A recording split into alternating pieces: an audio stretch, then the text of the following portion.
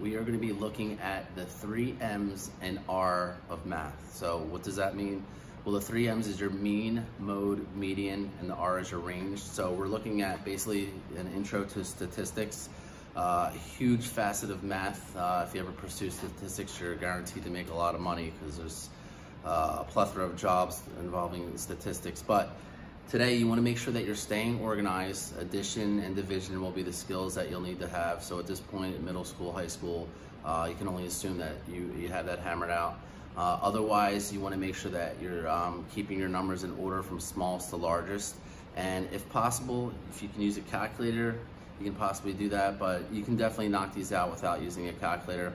And this will be a good foundation for when we get into doing box and whisker plots and other types of organizing uh, statistics. So follow along, make sure that you're subscribing, liking, commenting, all that will definitely help me out. Otherwise, good luck. Take your time with it. It should be okay. All right, before we start actually doing some of these problems, let's talk about what mean, mode, median, and range mean. So the first one, mean, it's exactly what it sounds like. It's mean to complete. All right, I have, I have a lot of jokes for you. All right, so mean, another word for that is average. So think about what your grades are. You add up all your grades, and then you're going to divide by the amount of grades you have to get your average. So average mathematically is adding all the numbers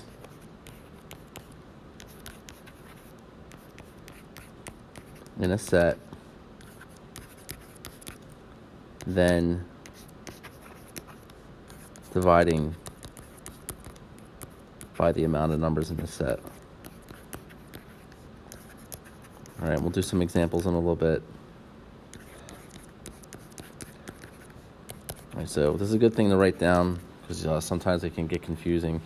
All right, and then what we also have is your median.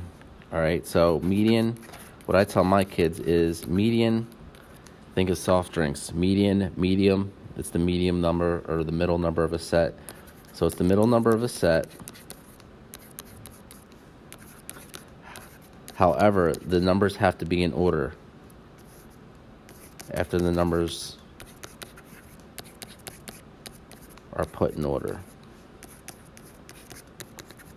All right, so you can go from smallest to biggest, biggest to smallest, it doesn't matter. All right, and then the next one is our mode.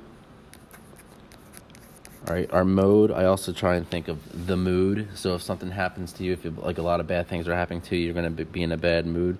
So it's the number or numbers, because it could be more than one, you see most frequently. All right, so you could actually have no mode in the set. So if only if every number only um, appears once, no mode. If you have a number, uh, you know the twos happen twice, the threes happen twice, and then every other number happens uh, once, then that means the twos and the threes are your mode. You can have more than one. And then the last one, our R, is the range. All right, so that is taking, subtracting the biggest number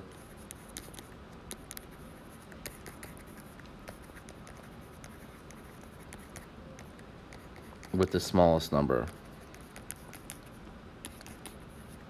Right, and this all can be done from the same set of numbers. And when you move into high school or if you pursue statistics, this is just scratching the surface with these. All right, let's take a look at this example here. So we have this set of numbers, and we know in life that, if, you know, especially with grades, that they're not going to go in chronological order. So the first thing you want to do is put these in order from smallest to biggest. You can go largest to smallest, but I prefer to go smallest to biggest. So 13, cross them out as you go. 14, because I, I, usually uh, miss one or two.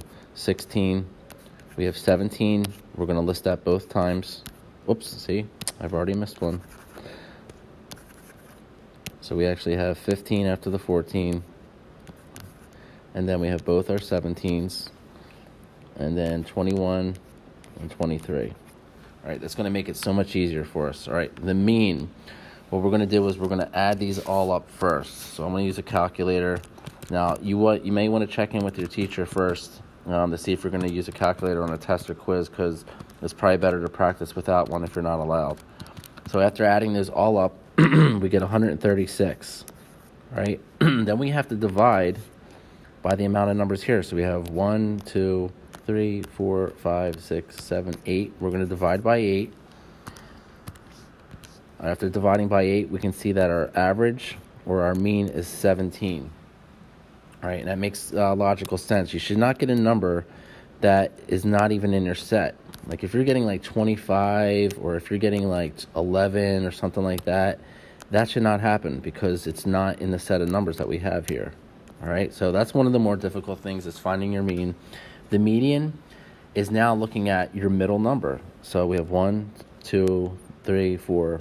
So we have a, a, an even amount of numbers. So this makes it a little bit difficult. So the number that we're going to have is actually going to fall right between the 6 and the 17. So you would think on a number line, what's between 16 and 17? Well, it's 16 and a half. Mathematically, how we could do this is we do 17 plus 16 is 33.